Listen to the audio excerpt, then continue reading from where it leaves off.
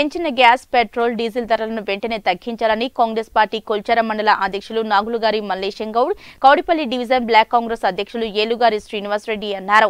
TPCC పిలుపు మేరకు కొల్చారం ప్రధాన రహదారిపై కాంగ్రెస్ పార్టీ రీతిలో ధర్నా రాస్తారోక నిర్వహించారు.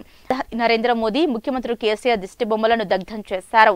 ఈ సందర్భంగా మల్లేశం గౌడ్ శ్రీనివాసరెడ్డిలు మాట్లాడుతూ కేంద్ర రాష్ట్ర ప్రభుత్వాలు ఢిల్లీలో దోస్తీ చేస్తూ గల్లీలో కుస్తీ పడుతూ అమాయక ప్రజలను మోసం చేస్తూ అమాయకులపై అమాయకులపై ధరల భారం మోపుతున్నారని అన్నారు.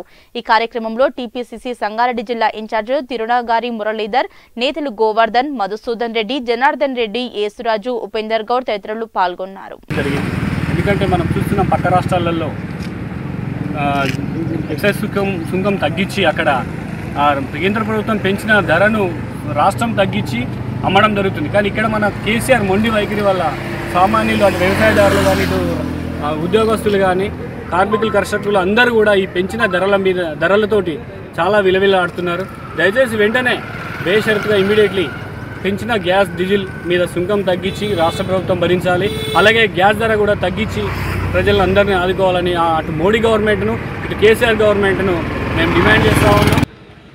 కేంద్ర రాష్ట్ర ప్రభుత్వాలు అవలంబిస్తున్న ప్రజా వ్యతిరేక విధానాల్లో భాగంగా మొన్న మొన్నటికి మొన్న ఐదు రాష్ట్రాల ఎన్నికలు ముగియగానే పెట్రోల్ డీజిల్ గ్యాస్ ధరలు ఆకాశాన్ని అంటున్నాయి దీనిలో భాగంగా సామాన్యునికి భారమై ఆత్మహత్యలకు పాల్పడుతున్నారు.